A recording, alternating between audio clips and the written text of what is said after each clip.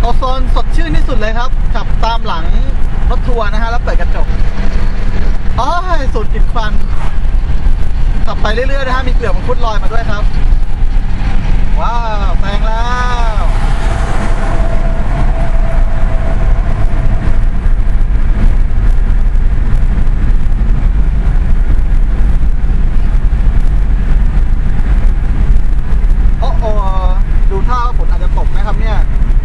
อยู่ๆอากาศก็เย็นขึ้นมากระทันหัน